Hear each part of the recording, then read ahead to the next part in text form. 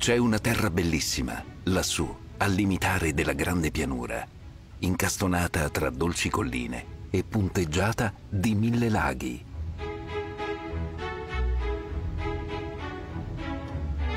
Ha conosciuto grandi fasti e oggi, come Norma nel bel paese, si distingue per la sua voglia di fare.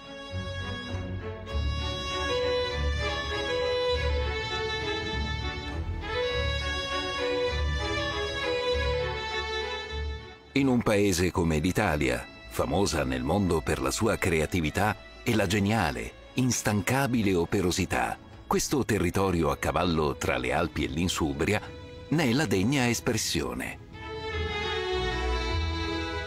È la provincia di Varese. Anche grazie a un sapere che non è mai andato perduto, anzi, ben custodito tra le pareti domestiche, è passato di mano in mano, di generazione in generazione. Un sapere oggi abbracciato da molti giovani che lo hanno saputo reinterpretare alla luce della tecnologia e di tutto ciò che di utile il nostro mondo è in grado di offrire.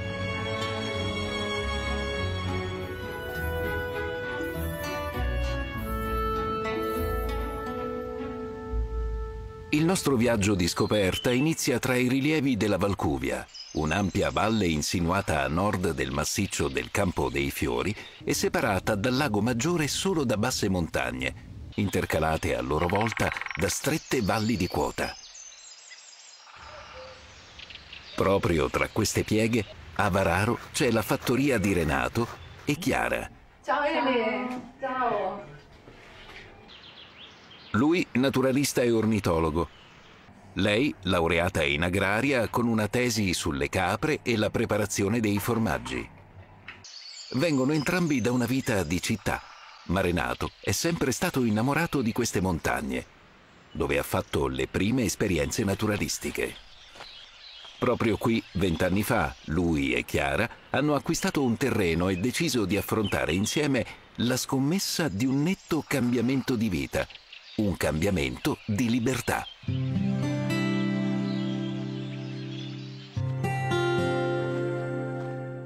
Creare cioè un allevamento di capre sopra i 700 metri con tutte le difficoltà, ma anche l'integrità dell'ambiente di mezza montagna. Il discorso altitudinale è stato per poter avere un ambiente ancora quasi integro dove poter trovare le cose che a me hanno sempre interessato, visto che questo lavoro ovviamente ci condiziona a stare qua 365 giorni all'anno, dalla mattina alla sera, e allora io mi devo svegliare, uscire di casa e trovare per esempio il picchio nero sulla pianta fuori, il capriolo che mi passa, soprattutto poi quando sono fuori con le capre posso esplorare l'ambiente e viverlo 365 giorni all'anno.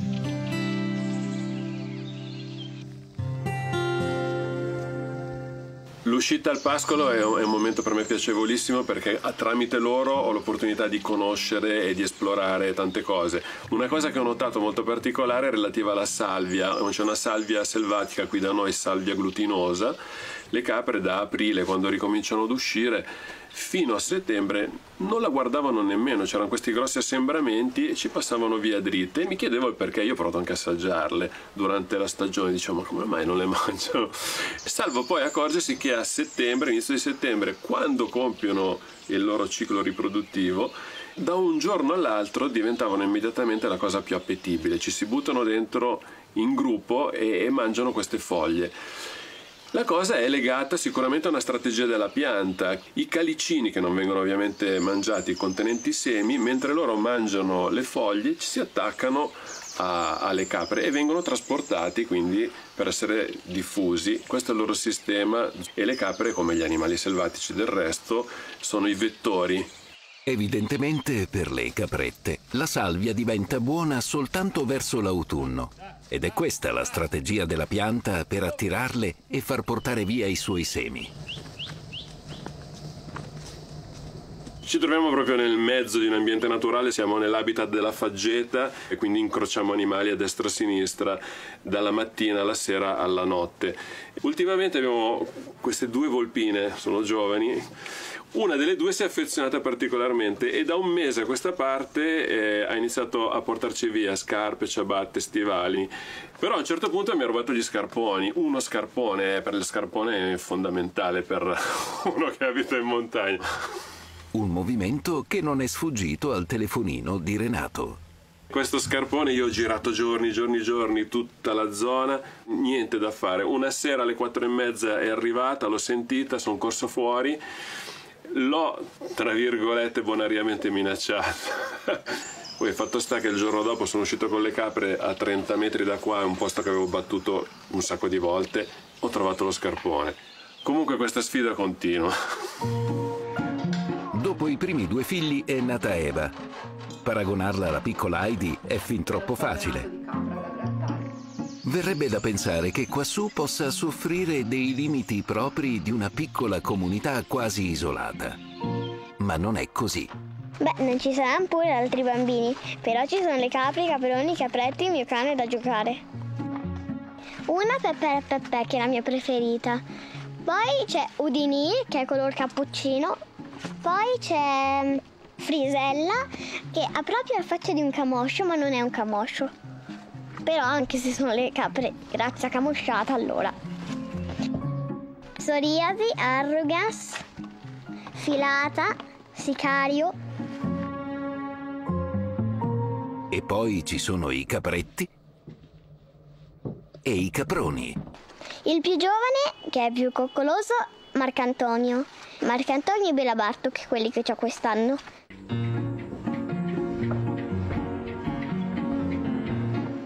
Ovviamente Eva è la cocca di mamma e papà e ogni mattina, prima di andare a scuola, scende nella stalla per fare una colazione fornita direttamente da uno dei suoi personali dispenser. Oggi tocca a Pepere Peppe, la sua preferita.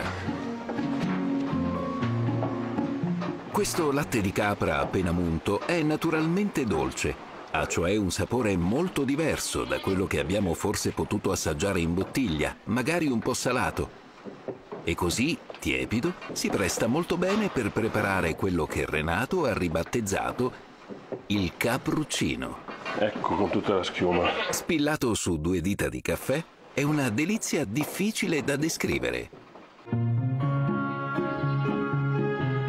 Tra le capre di Renato e Chiara, proprio come in un branco selvatico, esistono delle gerarchie e ognuna occupa alla mangiatoia un suo posto preciso.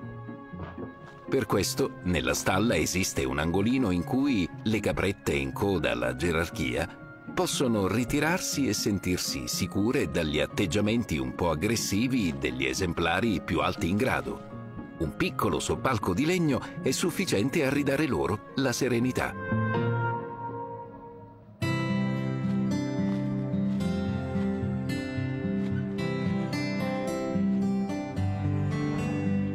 L'impiego del latte crudo è soggetto a regole sanitarie molto severe e a continui controlli batteriologici. Ma proprio qui sta il valore aggiunto dell'allevamento di Renato. Grazie alla grande igiene, il latte delle sue capre è di una purezza incredibile. Per migliorare la qualità della loro produzione e per il benessere degli animali hanno aderito a un progetto europeo condotto dall'Università degli Studi di Milano.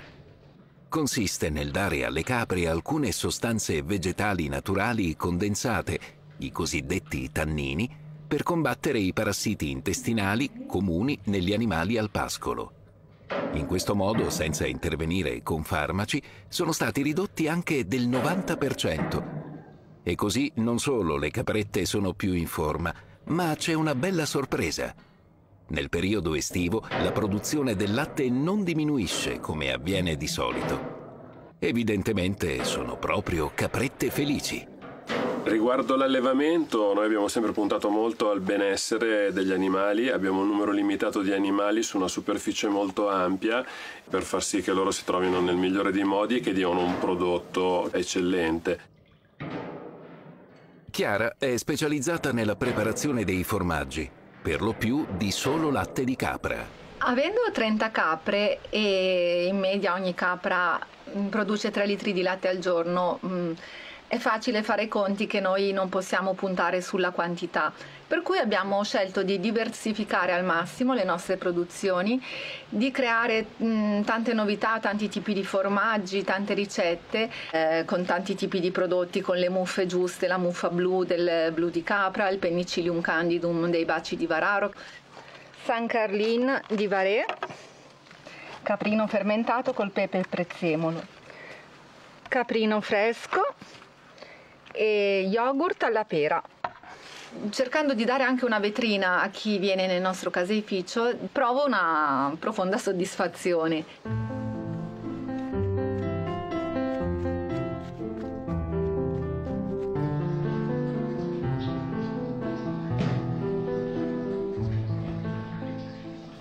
Dopo vent'anni, la loro è ormai un'attività consolidata e portano le loro prelibatezze un po' dappertutto, nel nord della provincia e fino a Milano. Ho avuto negli anni scorsi dei momenti di ripensamento, dei momenti bui con i bambini piccoli, gli inverni lunghi, però mm, siamo andati avanti e siamo molto felici di quello che abbiamo realizzato.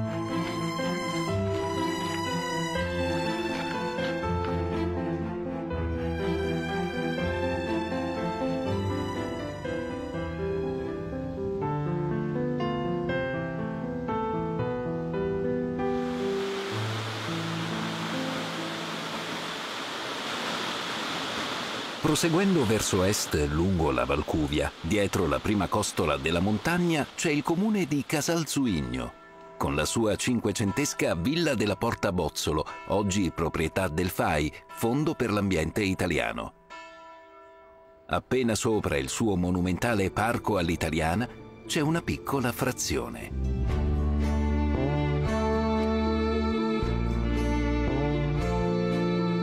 Cinque residenti in tutto, abituati al silenzio e a guardare la valle dall'alto. Tra questi, Isabella. Anche per chi vi è nato, vivere qui non è certo frutto del caso. Isabella viene però da più lontano. Entusiasmo per la natura, desiderio di iniziativa, la conquista di una vita diversa. Una sfida che ha probabilmente vinto già nel momento in cui è iniziata, alcuni anni fa. Sono arrivata nel 2013 stavo cercando un terreno abbastanza grande da poter realizzare tutto ciò che avevo in mente, ma non era assolutamente facile. E appena sono arrivata in questo pratone ho avuto subito il colpo di fulmine mi sono innamorata immediatamente per la, la bellezza era proprio il classico prato magro delle prealpi varesine. Non c'erano recinzioni, non c'era nulla, pascolavano liberamente i cervi, i mufloni. Eh, di sera arrivavano i cinghiali. Non sapevo che poi nel tempo questo luogo si sarebbe perfettamente amalgamato con quello che sono io non c'era nulla, ho cominciato a pensare cosa poter fare.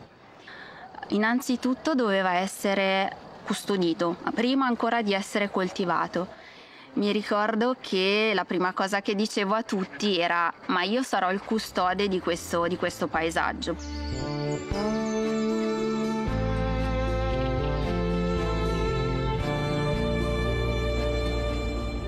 Era un momento della mia vita molto particolare perché era appena morto mio papà e quindi avevo questa grandissima forza di dover trasformare un grande dolore in qualcosa di bello, in qualcosa di positivo.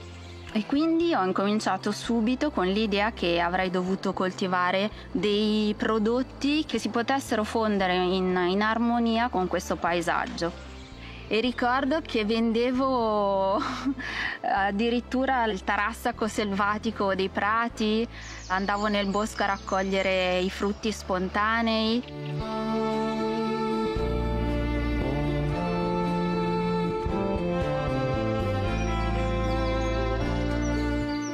Iniziò con i mirtilli, oggi ne produce oltre una tonnellata, per poi coltivare in grandi orti senza lavorazione del suolo le verdure più adatte all'ambiente di mezza montagna, nelle varie stagioni.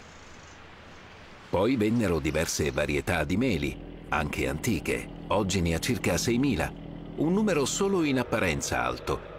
Infatti le piante non vengono concimate né trattate e fanno quindi poca quantità ma una grande qualità. Il 70% viene scartato, non è vendibile perché è mangiucchiato dal verme, perché è stato assaggiato dal merlo. Tutto ciò che non è recuperabile diventa concime, in parte diventa un ottimo mangime per le mie galline soprattutto e quindi il restante 30% è quello meno difettato. Ho alcune mele che sono perfette, alcune che hanno dei piccoli difetti ma che ugualmente le persone apprezzano perché capiscono che sono estremamente naturali.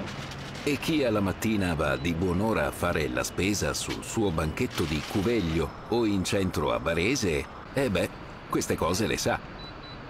L'aiuta la mamma Rosanna e in molti sono saliti dal paese per aiutare e insegnare, accogliendo Isabella e sostenendola nella sua sfida. Per fortuna il suo terreno è ben esposto a sud e questo l'aiuta a prolungare la stagione operosa della raccolta. Poco lontano, dietro un altro contrafforte verde della montagna, c'è Arcumeggia, il paese dipinto. Qui, a partire dai primi anni 40, durante il secondo conflitto mondiale, molti dei più importanti pittori italiani sfollati da Milano ricambiarono l'ospitalità del borgo, dipingendo opere murali che ancora oggi fanno di Arcomeggia una vera pinacoteca all'aperto. Sasso, Usellini, Morelli, Ferrazzi, tantissimi. E infine Pedretti, con il suo Monterosa dipinto vent'anni fa. Ma l'espressione non si è arrestata. Continua. Per celebrare e ricordare questo lungo fremito artistico-culturale, Luigi ha realizzato qui un piccolissimo museo della fotografia. Tre piccole stanze piene di storia e di sincero amore per il paese. Io ero un fotografo più di bianco e nero ho cominciato a fare fotografie da dilettante e siccome li portavo in un negozio a sviluppare, alla fine è stato il fotografo che mi ha coinvolto a lavorare anche per lui.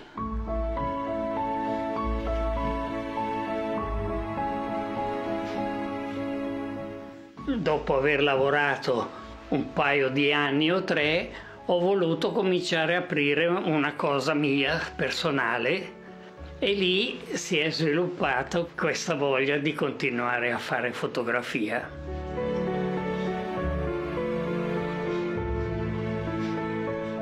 Ma poi il, il massimo di, queste, di tutto questo è arrivato quando è cominciato il digitale. Allora tutti si sono messi a abbandonare queste macchine a pellicole e il digitale invece è stato una cosa che è arrivata alla portata di tutti.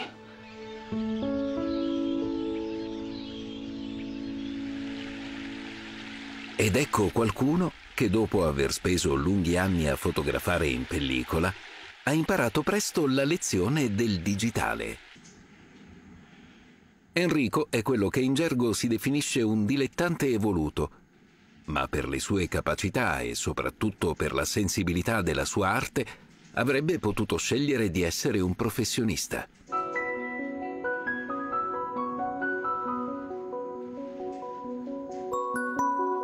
La sua passione è per la natura e da qualche tempo ha abbracciato una tecnica un po' speciale, quella definita della foto mossa controllata un effetto di mosso assai sapiente, realizzato con un movimento speciale, affinato nel tempo.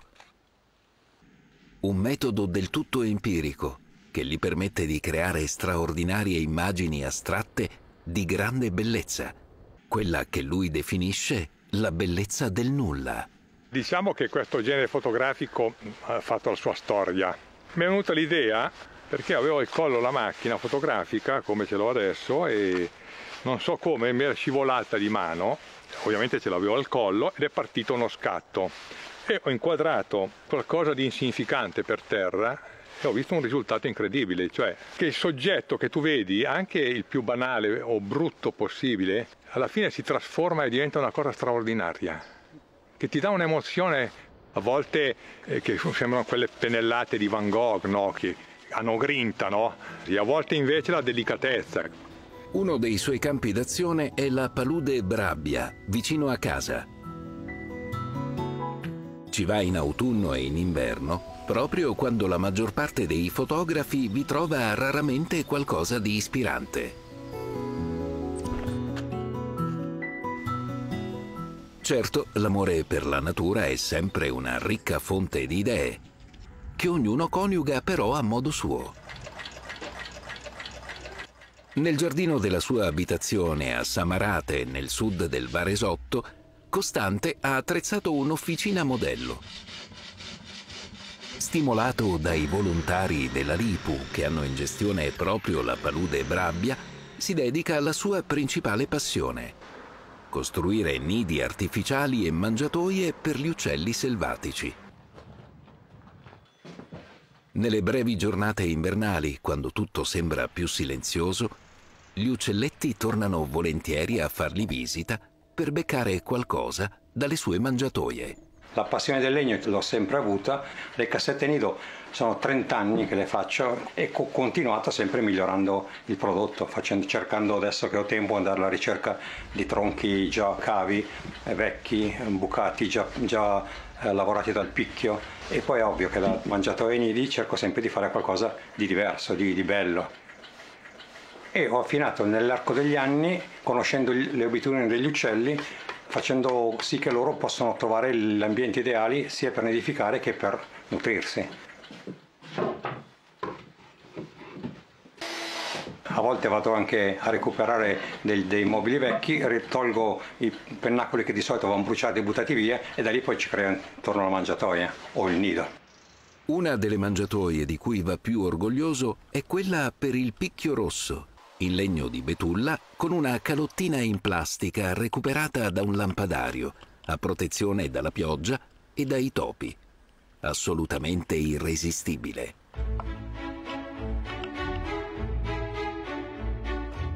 Tornando verso la Valcuvia, se a Cittiglio si prosegue per un po' verso il lago Maggiore, si arriva a Mombello, una frazione di Laveno. Proprio qui si è realizzato il sogno di Laura.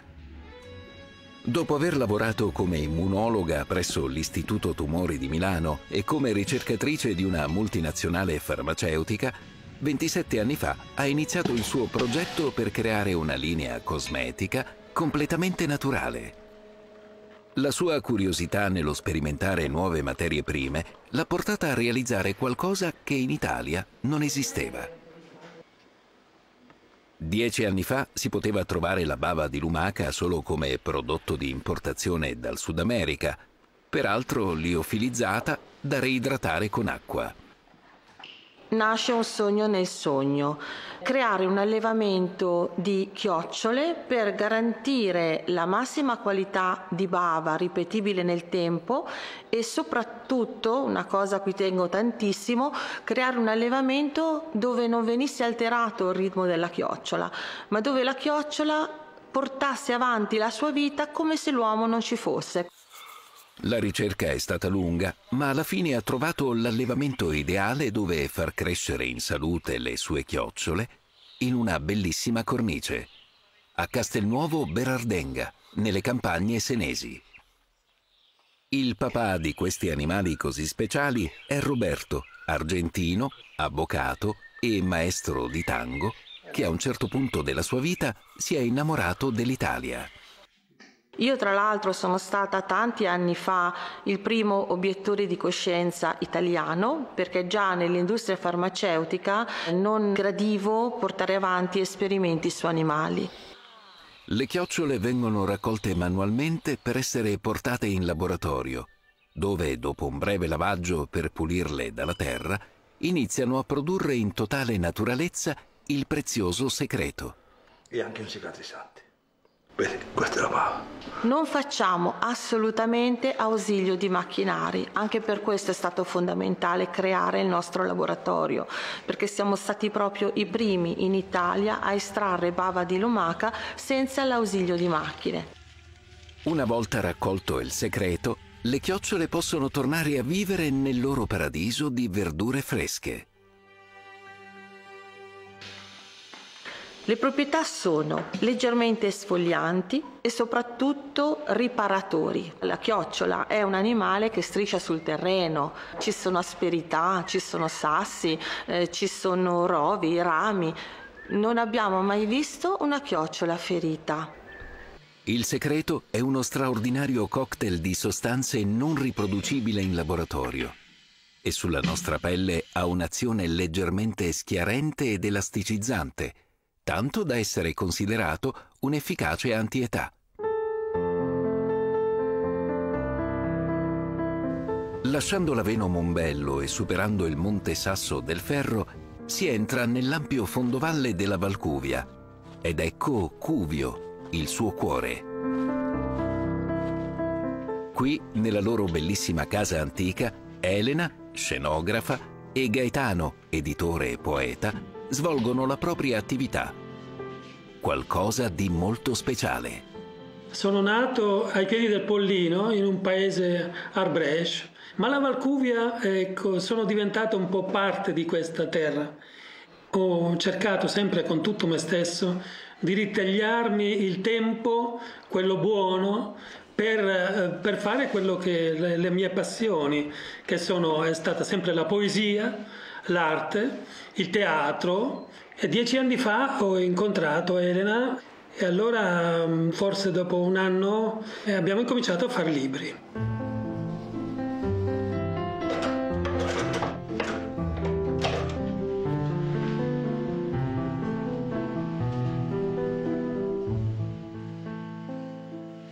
Questa casa è una casa antichissima, abbandonata da anni, non aveva tetto, non aveva luce, gas, nulla. L'unico abitante vivo era un gatto che dormiva su un letto. Vieni qua, Beffanina, dai. Abbiamo questa passione del fare i libri a mano perché è bello il piacere di eh, toccare un oggetto creato con materiali che vengono da un passato magari volontariamente gettato via questo perché lo dico? Perché ogni nostra edizione è un'edizione diversa dall'altra, editata in pochi esemplari, ognuno di loro è fatto a mano, viene ehm, piegato e cucito a mano. C'è una stanza in questa casa che è una stanza un po' magica perché contiene tutti i fili che mia mamma mi ha lasciato, fili di cotone di vario, di vario colore e che vanno a suggellare queste pagine e vengono scelti singolarmente di volta in volta, quindi proprio cucitura a mano con ago e filo. È bello anche coinvolgere amici, eh, artisti e ci sono anche poesie di persone che non avrebbero mai immaginato di pubblicare, a cui viene data la possibilità di mostrare quanta bellezza ci possa essere eh, nascosta. Oltre al laboratorio faremo anche delle piccole mostre. Speriamo che questo luogo possa ospitare tantissima gente. Ricorda Elsa Morante, Moravia e Minguelli.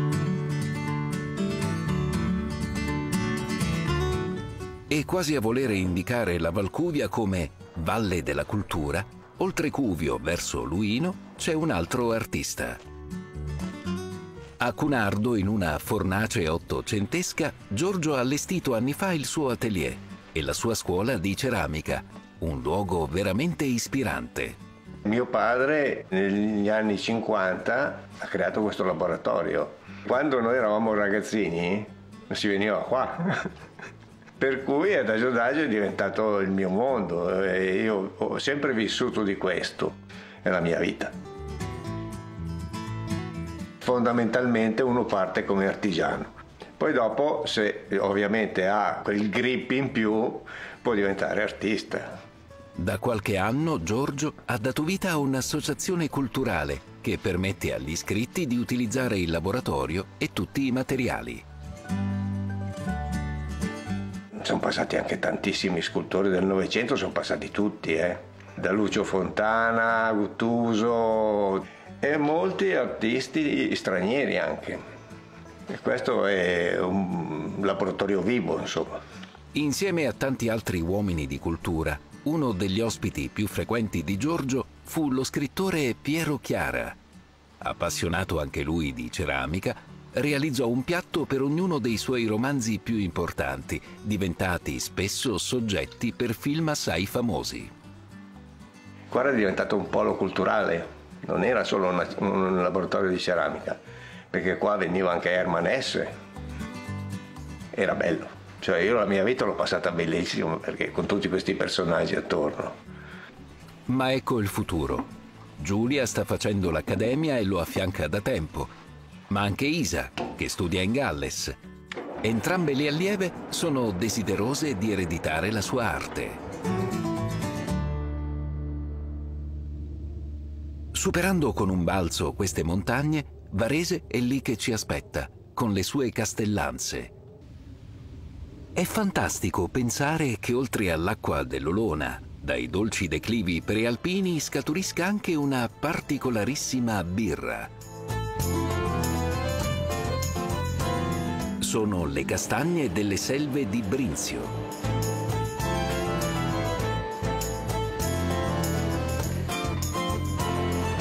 Tritate con pazienza da Massimo e conferite a Carnago, al birrificio di Nicola, messe a fermentare si trasformeranno in una birra gustosa e un po' strana.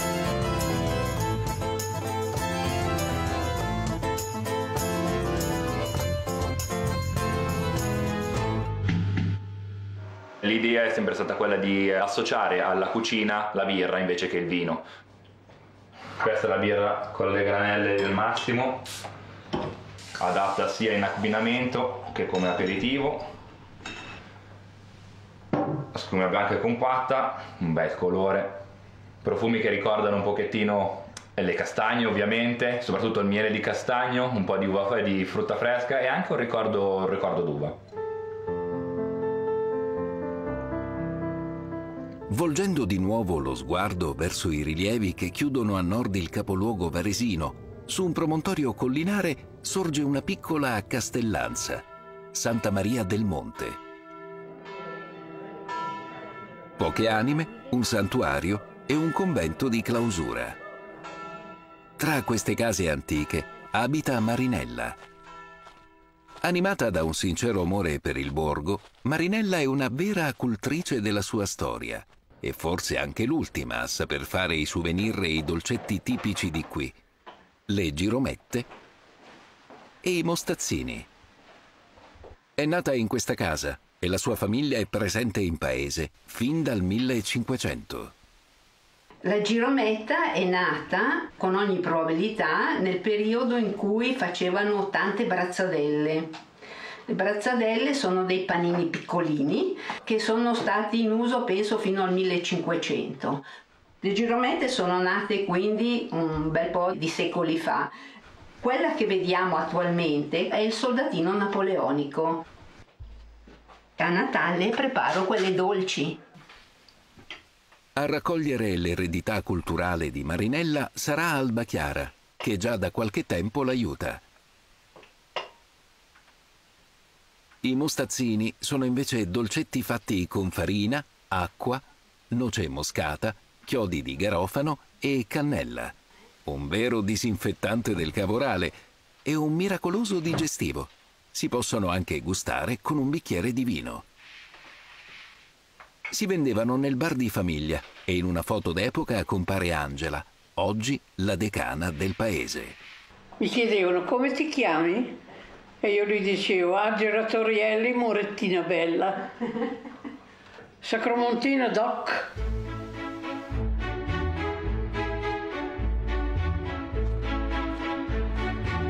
Io avevo circa dieci anni, andavo a scuola nel collegio delle suore del convento e passando sotto al portichetto della Madonnina ho scoperto la pietra tombale. Questa pietra tombale appartiene alla tribù Onfentina e la tribù Onfentina è stata fondata nel 318 a.C. Fino agli anni 60 si leggeva perfettamente. Poi a Sacromonte è arrivato il cherosene e la pietra tombale ha cominciato a sfaldarsi. Come sia finita a fare da architrave nessuno lo sa, ma una leggenda parla dello spirito di un antico castellano del Sacro Monte, morto in circostanze misteriose, che vaga ancora per il borgo cercandola. Era il 72-73, avevo un cagnolone, un bel cagnolone e mi ricordo che una sera sono passata sotto al portico dove c'è la Madonnina. Ecco, appena passata la Madonnina ho visto proiettarsi sul muro questa ombra e in una frazione di secondo io e il mio cane ci siamo trovati fuori. Cosa sia stato non lo so, però insomma ho fatto poi anni a non passare di lì la paura. Ma mille e ancora mille sono le storie che girando tra questi monti è possibile raccontare. Sono vite forse un po' uniche, talvolta curiose, sempre interessanti, ma soprattutto operose.